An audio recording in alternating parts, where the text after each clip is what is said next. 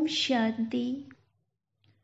आज की तारीख है 25 नवंबर 2020 प्रातः मुरली, ओम शांति। बाप दादा मधुवन मीठे बच्चे ऊंचते ऊंच पद पाना है तो याद की यात्रा में मस्त रहो। यही है रूहानी फांसी। बुद्धि अपने घर में लटकी रहे। प्रश्न जिनकी बुद्धि में ज्ञान की धारणा नहीं होती है, उनकी निशानी क्या होगी? उत्तर, वह छोटी छोटी बातों में रंज, नाराज़ होते रहेंगे। जिसकी बुद्धि में जितना ज्ञान धारण होगा, उतनी उसे खुशी रहेगी। बुद्धि में अगर यह ज्ञान रहे कि अभी दुनिया को नीचे जाना ही है, इसमें नुकसान ही होना है तो कभी रंज नहीं होंगे, सदा खुशी रहेगी। ओम शांति। मीठे मीठे रूहानी बच्चों प्रति रूहानी बाप बैठ समझाते हैं। बच्चे समझते हैं ऊंचते ऊंच भगवान कहा जाता है। आत्मा का बुद्धि योग घर की तरफ़ जाना चाहिए। परंतु ऐसा एक भी मनुष्य दुनिया में नहीं है जिसको यह बुद्धि में आता हो। सन्यासी लोग भी ब्रह्म को घर नहीं समझते, वह तो कहते, हम ब्रह्म में लीन हो जाएँगे तो घर थोड़े ही हुआ, घर में ठहरना होता है। तुम बच्चों की बुद्धि वहाँ रहनी चाहिए। जैसे कोई फांसी पर चढ़ता है ना, तुम अब रूहानी फांसी पर चढ़े हुए हो। अंदर में है, हमको ऊंचते ऊंच बाप आकर ऊंचते ऊंच घर ले चलते हैं। अब हमको घर जाना है। ऊंचते ऊंच बाबा हमको फिर ऊंचते ऊंच पद प्राप्त कराते हैं। रावण राज्य में सब नीच हैं। वह ऊंच, यह नीच। उन्हों को ऊंच का पता ही नहीं है। ऊंच वालों को भी नीच का पता नहीं रहता। अभी तुम समझते हो ऊंचते ऊंच एक भगवान को ही कहा जाता है। बुद्धि ऊपर में चली जाती है। वह है ही परम धाम में रहने वाला। यह कोई भी नहीं समझते हैं, हम आत्माएँ भी वहाँ की रहने वाली हैं। यहाँ आते हैं सिर्फ़ पाठ बजाने, यह कोई के ख्याल में नहीं रहता। अपने ही धंधे धोरी में लगे रहते हैं, अब बाप समझाते हैं, ऊंचते ऊंच तब बनेंगे जब याद की यात्रा में मस्त रहेंगे। याद से ही ऊंच पद पाना है। नॉलेज जो तुमको सिखलाई जाती है, वह भूलने की नहीं है। छोटे बच्चे भी वर्णन करेंगे, बाकी योग की बात को बच्चे नहीं समझेंगे। बहुत बच्चे हैं जो याद की यात्रा पूरी रीति समझते नहीं हैं। हम कितना ऊंचते ऊंच जाते हैं। मूल वतन, सूक्ष्म वतन, स्थूल वतन, पाँच तत्व यहाँ है। सूक्ष्म वतन, मूल वतन में यह नहीं होते। यह नॉलेज बाप ही देते हैं। इसलिए उनको ज्ञान का सागर कहा जाता है। मनुष्य समझते हैं, बहुत शास्त्र आदि पढ़ना ही ज्ञान है। कितना पैसा कमाते हैं, शास्त्र पढ़ने वालों को कितना मान मिलता है। परंतु अब तुम समझते हो, इसमें कोई ऊंचाई तो है नहीं। ऊंचते ऊंच तो है ही एक भगवान। उनके द्वारा हम ऊंचते ऊंच स्वर्ग में राज्य करने वाले बनते हैं। स्वर्ग क्या है? नर्क क्या है? चुरासी का चक्र कैसे फिरता है? यह सिवाय तुम्हारे इस सृष्टि में कोई भी नहीं जानते हैं। कह देते हैं, यह सब कल्पना है। ऐसे के लिए समझना है, यह हमारे कुल का नहीं है। दिल शिकस्त नहीं होना चाहिए। समझा जाता है, इनका पाठ नहीं है तो कुछ भी समझ नहीं सकेंगे। अभी तुम बच्चों का सिर बहुत ऊंच है। जब तुम ऊंच दुनिया में होंगे तो नीच दुनिया को नहीं जानेंगे। नीच दुनिया वाले फिर ऊंच दुनिया को नहीं जानते। उनको कहा ही जाता है स्वर्ग। विलायत वाले भल स्वर्ग में जाते नहीं हैं फिर भी नाम तो लेते हैं हेवन पैराडाइज था। मुसलमान लोग भी बहिश्त कहते हैं। परंतु यह उनको पता नहीं है कि वहाँ कैसे जाना होता है। अभी तुमको कितनी समझ मिलती है। ऊंचते ऊंच बाप कितनी नॉलेज देते हैं। यह ड्रामा कैसा वंडरफुल बना हुआ है।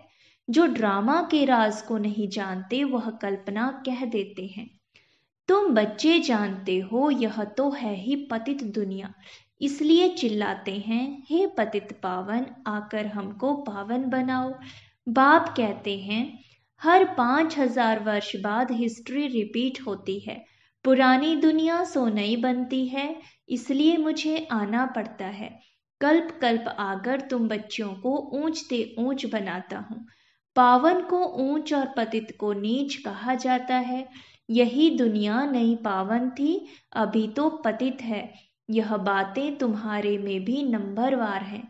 जो समझते हैं, जिनकी बुद्धि में यह बातें रहती हैं, वह सदा खुश रहते हैं।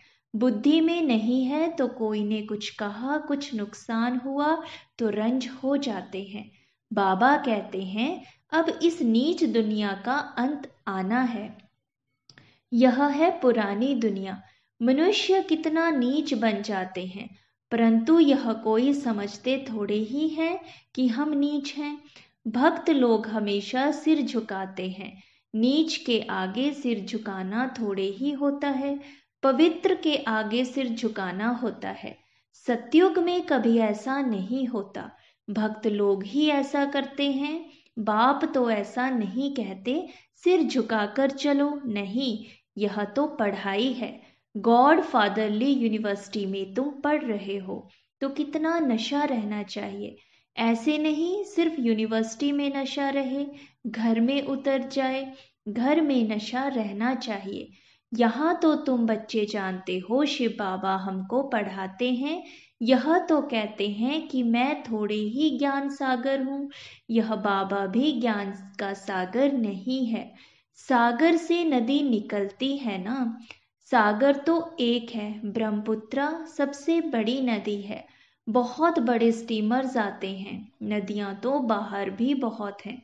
पतित पावनी गंगा या सिर्फ़ यहाँ ही कहते हैं, बाहर में कोई भी नदी को ऐसे नहीं कहेंगे।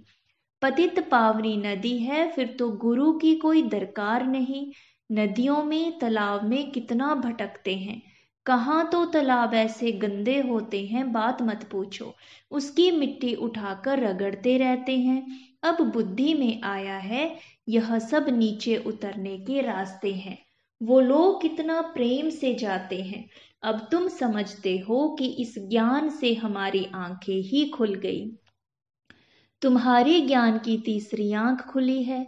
आत्मा को तीसरा नेत्र मिलता है, इसलिए तरिकालदर्शी कहते हैं। तीनों कालों का ज्ञान आत्मा में आता है। आत्मा तो बिंदी है, उसमें नेत्र कैसे होगा? यह सब समझने की बातें हैं। ज्ञान के तीसरे नेत्र से तुम तरिकालदर्शी तरिलोकी नाथ बनते हो। नास्तिक से आस्तिक बन जाते हो। आगे तुम रचयिता और रचना के आदि मध्य अंत को नहीं जानते थे। अभी बाप द्वारा रचना के आदि मध्य अंत को जानने से तुमको वर्षा मिल रहा है। यह नॉलेज है ना? हिस्ट्री ज्योग्राफी भी है। हिसाब किताब है ना? अच्छा तीखा बच्चा हो तो हिसाब करे। हम कितने जन्म लेते हैं, इस हिसाब से और धर्म वालों के कितने जन्म होंगे। परंतु बाप कहते हैं, इन सब बातों में जास्ती माथा मारने की दरकार नहीं है। टाइम वेस्ट हो जाएगा। यहाँ तो सब भूलना है। यह सुनाने की दरकार नहीं। तुम तो रचता बाप की पहचान देते हो, जिसको कोई जानते नहीं। शिव बाबा भारत में ही आते हैं। ज़रूर कुछ करके जाते हैं, तब तो जयंती मनाते हैं ना। गांधी अथवा कोई साधु आदि होकर गए हैं, उन्हों के स्टैंप बनाते रहते हैं। फैमिली प्लानिंग की स्टैंप बनाते हैं अभी तुमको तो नशा है, हम तो पांडव गवर्नमेंट है। ऑलमाइटी बाबा की गवर्नमेंट है। तुम्हारा यह कोट ऑफ़ आर्मर्स है। और कोई इस कोट ऑफ़ आर्मर्स को जानते ही नहीं। तुम समझते हो कि विनाश काले प्रीत बुद्धि हमारी ही है। बाप को हम बहुत याद करते हैं। बाप को याद करते करते प्रेम में आँसू आ जाते हैं। बाबा, आप हमें आधा कल्प के लिए सब दुखों से दूर कर देते हो और कोई गुरु व मित्र संबंधी आदि किसको भी याद करने की दरकार नहीं। एक बाप को ही याद करो। सवेरे का टाइम बहुत अच्छा है। बाबा, आपकी तो बड़ी कमाल है। हर पाँच हज़ार वर्ष बाद हमें आप जगाते हो। सभी मनुष्य मात्र कुंभकर्ण की आसुरी नींद में सोए हुए हैं, अर्थात अज्ञान अंधेरे में है। अभी तुम समझते हो भारत का प्राचीन योग तो यह है, बाकी जो भी इतने हठ योग आदि सिखलाते हैं, वह सभी हैं। एक्सरसाइज शरीर को तंदुरुस्त रखने के लिए। अभी तुम्हारी बुद्धि में सारा ज्ञान है तो खुशी रहती है।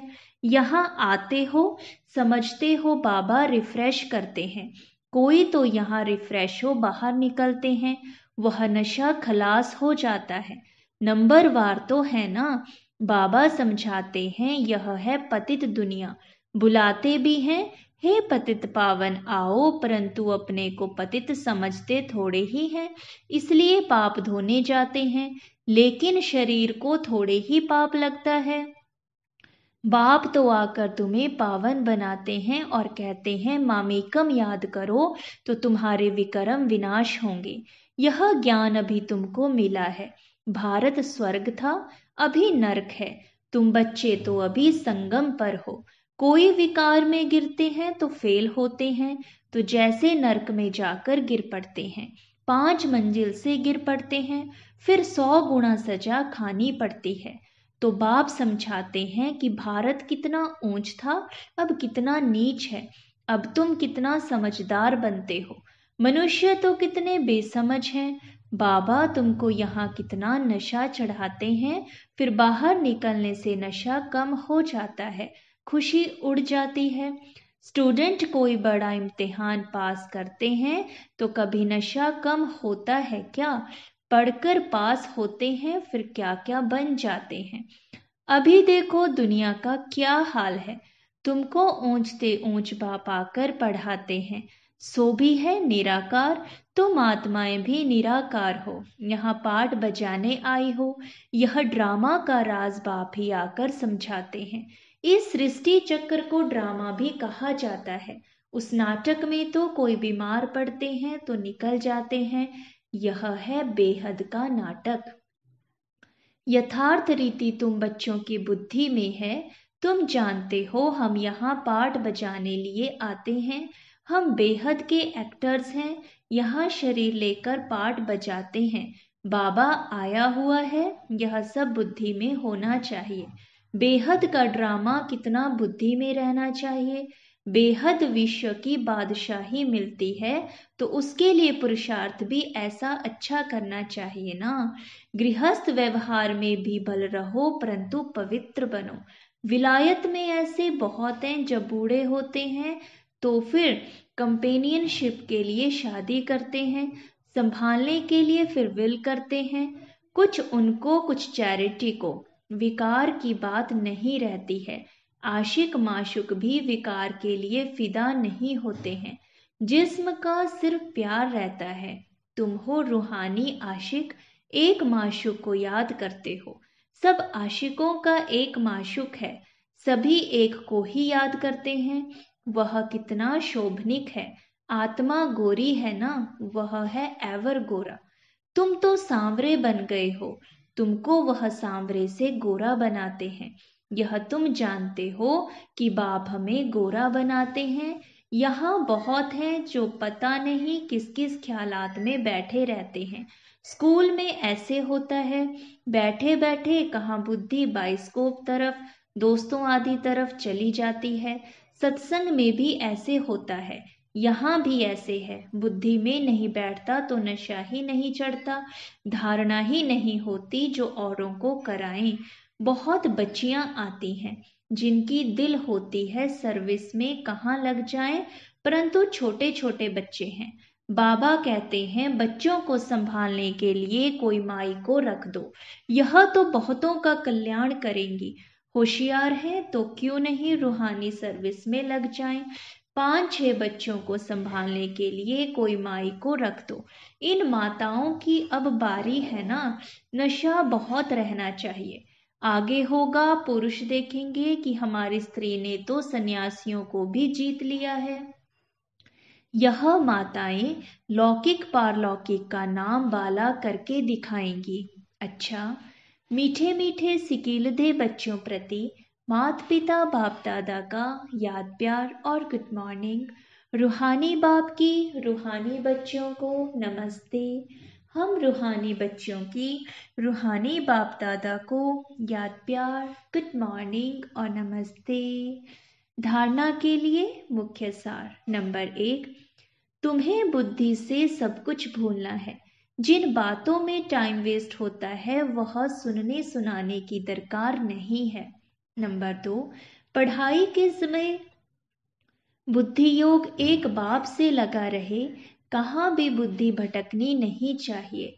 निराकार बाप हमें पढ़ा रहे हैं, इस नशे में रहना है।